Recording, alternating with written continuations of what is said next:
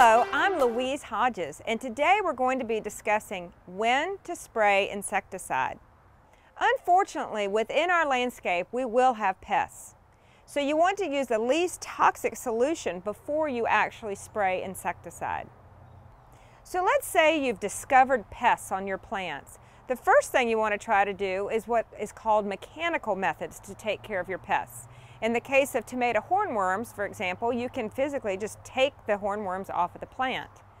If you happen to find aphids on one of your plants, the mechanical method is to blast the plant with water to try to get rid of some of the aphids. If those solutions don't work, then it is time to spray insecticide. The first line of defense is you want to use something that's natural and safe. You don't want to use anything that's toxic or synthetic unless you absolutely have to. Unfortunately, pests will exist. So when to spray insecticide? As a last resort.